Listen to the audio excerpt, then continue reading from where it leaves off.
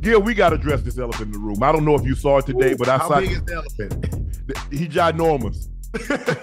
and, and he he been he been causing the stir since uh I had Katt Williams on my podcast. oh man. Man, Uh-huh. Gil. And the thing is, is that when he came, I had reached out to Katt last year, and uh he said he's gonna get to me, and so I, I just. But in the meantime, I've had Steve Harvey on the pod. I've had Cedric the Entertainer on the pod. I've had Michael Michael Blackson on the pod. Uh, who, uh, uh Rickey Smiley on the pod. Mm. And so everybody's kind with the exception of Steve. Steve didn't really tell any stories uh, uh, about the comedy thing. He just told how he how he started out in comedy and ended up brand. You know, Steve is, is really positive now. No matter what you think of, I like Steve. I talk to Steve from time to time. He's been great. He's been great to me, and I can only judge someone by the experience that I have dealing with said person. Uh-huh. Um, but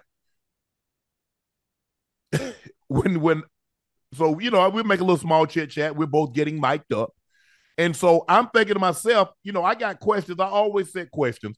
So I set questions for anywhere between three hours. I'd say three hours if they got that kind of time, good. But I'm thinking Katt Williams ain't gonna, you know, because he don't really do a whole lot. He doesn't do a whole lot of posting and he Mhm. doesn't do a whole lot of sit down. And like he said, uh, you know, I got to feel like I want to. I, I ain't peddling a product. I'm not selling a book. I don't. I don't promote my shows. I got to feel like I want to come talk to said individual, individual, even though I'm not selling anything. And he told me, he said, "Now you got a great platform." He said, "I love how you let the uh, uh the guests talk, let them share their story. You don't interrupt, blah blah blah." So I'm like, "Okay, cool." You know, well, actually, I set the interview for about an hour and a half. That's what I go. But I always have a couple of cards that if we need to go a little longer, I can get some stuff in. So the I, the interview goes 246. Now, mind you, I got another, I still got questions for another 20, 30 minutes. So we really could have gone over three hours. But at that Uh-huh. point in time, I'm exhausted. Uh-huh. So, you know, I do my interview. Hey, welcome to another edition of Club Shay Shay. I'm your host, also a proprietor, blah, blah, blah. And then I read around his accolades, what he or she has done. And so we take, I say, when you come on, we take a, he took a shot. Gil, before I ask one question, he went 30 minutes. So now, as the interviewee, interview, excuse me, as the interviewer, I'm going in my head, do I cut him off and get to the line of questioning, or do I let him go? Mm-hmm. You like let him go. I said, God, you in control. Take the wheel. Yeah, yeah, yeah. And he went. I heard, I see. He he, he went. And that little liquor hit his body. No, but, but like he said, uh, like he said, he said, I don't need to be motivated. The truth doesn't motivate. He says, I just, I'm gonna tell the truth. I'm gonna set the record straight. And he's asking me, say, well, why did you? I say, Katt, I'm assuming when someone comes on my show and they're telling me something that no one else has heard, I'm assuming they're telling me the truth because Yes. only said individual was there would know. yeah. So you're asking me, well, why didn't you correct this? Hell, I wasn't on the set, so I couldn't, you know I'm saying? I can't correct it. This is your opportunity to set the record straight. Man. What's, what's so funny that that happens in a lot of interviewers when they say, you know, why didn't you ask them this? How the fuck supposed to know? exactly. Right? This is the- like, like, you, you should have called in, Right. And, and, you know rebutted. But you know, um, And I've done as much research as I possibly can. We do Yeah. our due diligence. We make Mhm. sure we find as much as we possibly can. And sometimes we're able to find nuggets and they ask, like, who told you this? How did you find this? Mhm. Because we do a deep dive.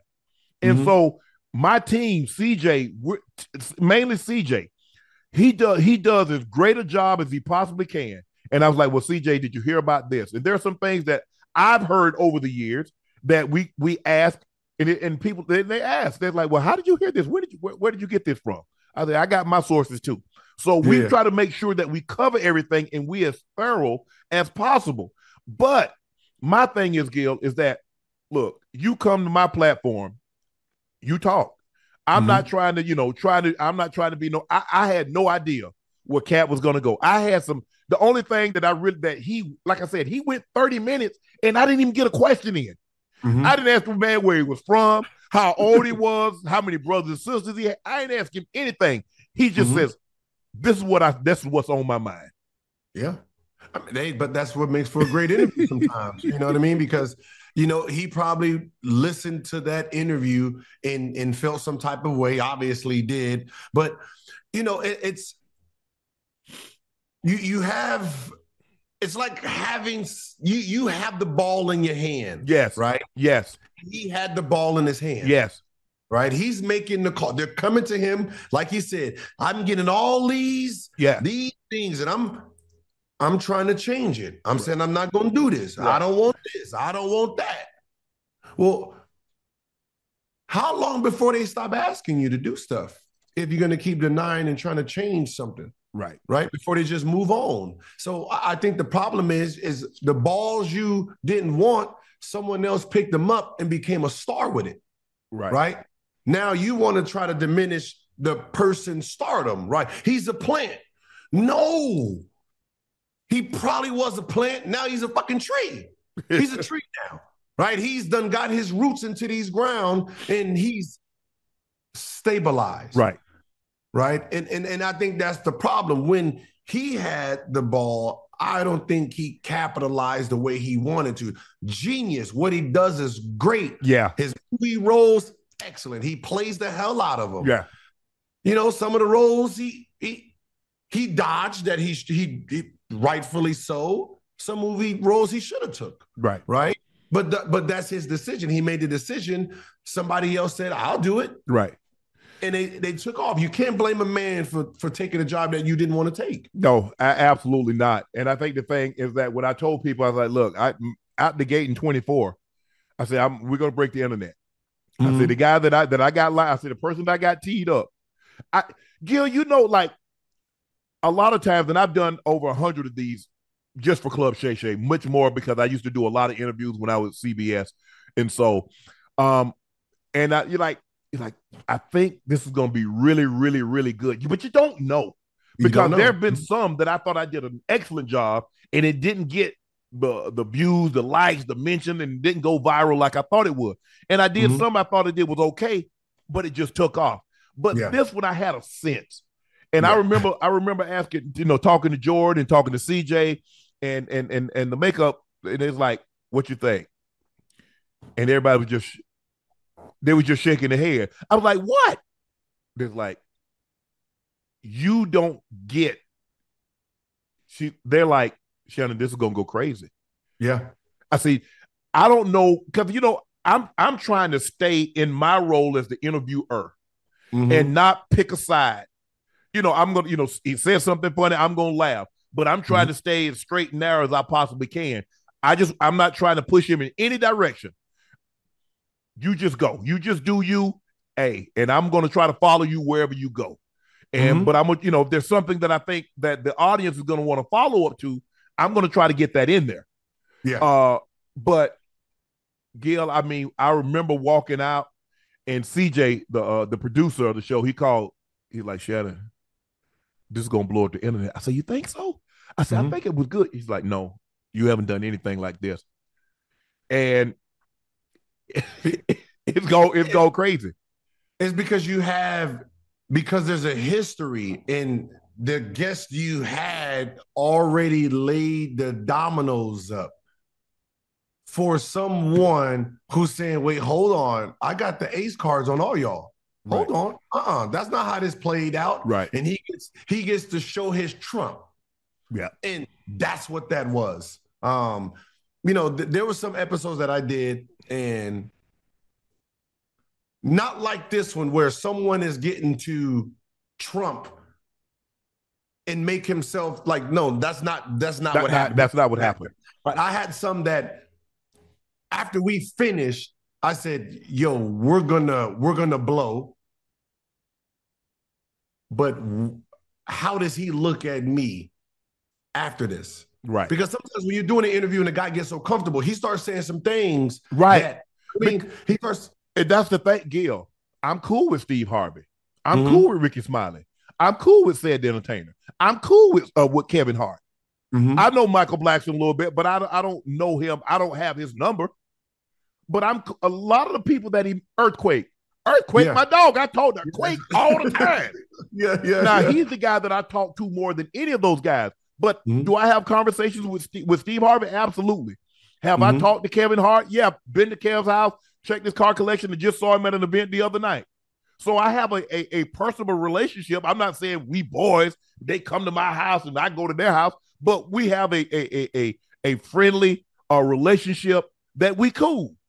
Mhm. And so my thing is, I'm like, well, that's the hardest part because he's talking, up, he's saying things about people, and I'm like, man, I say the best thing for me is just to be Switzerland, stay neutral, Mhm. ask the questions, and then I'm gonna let the view viewing audience. I'm not taking a side. I'm gonna let the viewing audience take their side. Uh, Cedric has already responded. Michael Yeah. Blackson has responded. uh, uh, I don't think I don't think I don't know if Katt's gonna respond. Um, but it wasn't that faith. Uh, one of our faithfuls said that damn Laportier is true, sir. Katt took one sip. Nah, What, hey, what, hey, what, no, actually, we got Jordan can tell you we could have should have had the cameras rolling when he walked in.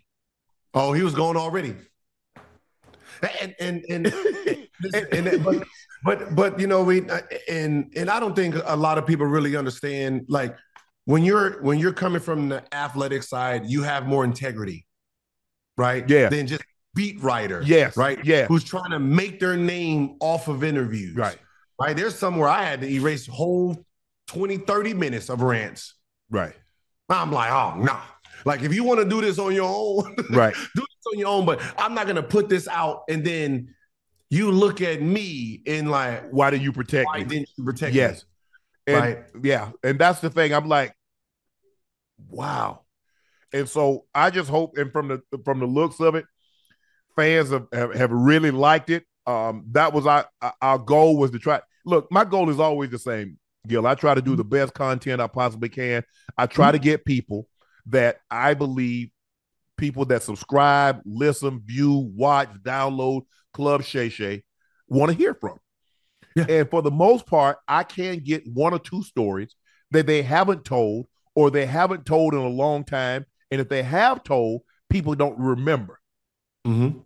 Um, and so what Katt did, I mean, he did he did me a solid. I mean, because you know, I didn't think he was I was gonna be able to get him as soon as I, I did. I didn't. And and at the end of the day, and what I've decided to do, I'm still Club Shay Shay's best booking agent. Mhm. Yes, I have a company. I got two companies that help, but I'm the best booking agent. So I'm just gonna go back to you know, hey, get on my phone, hey, bro, hey, or go to people's DMs. Yeah.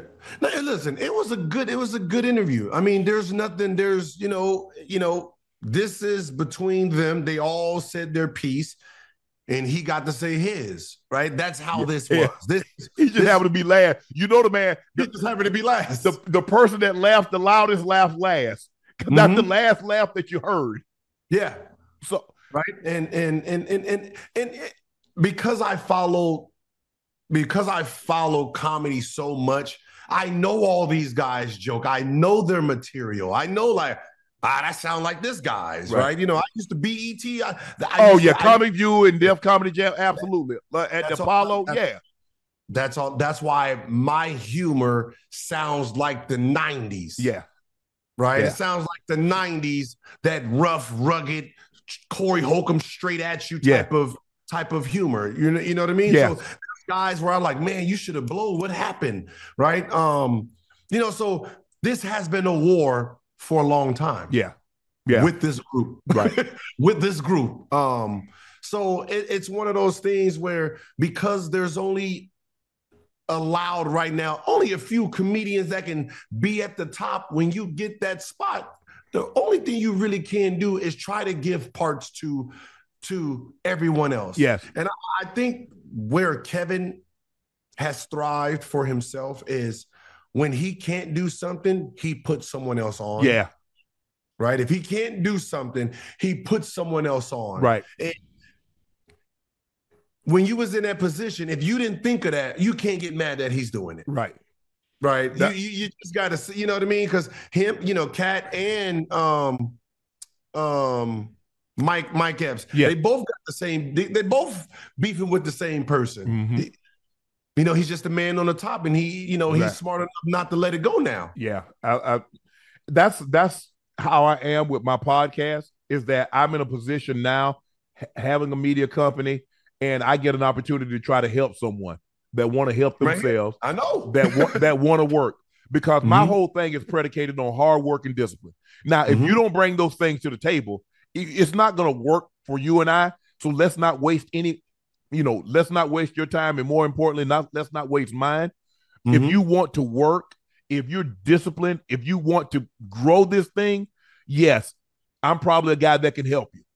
yeah, And if I can't, hey, I'll point you in a different direction. Maybe we want different things. Maybe you want X and I can only give you T. Mm. But that's okay. Yep. But uh it was a great interview. I'm glad you guys have received it very, very well. It's doing very, very, very, very well on social media. So thank you guys. I want to get that out because you guys were you guys were uh who was, was blowing the chat up.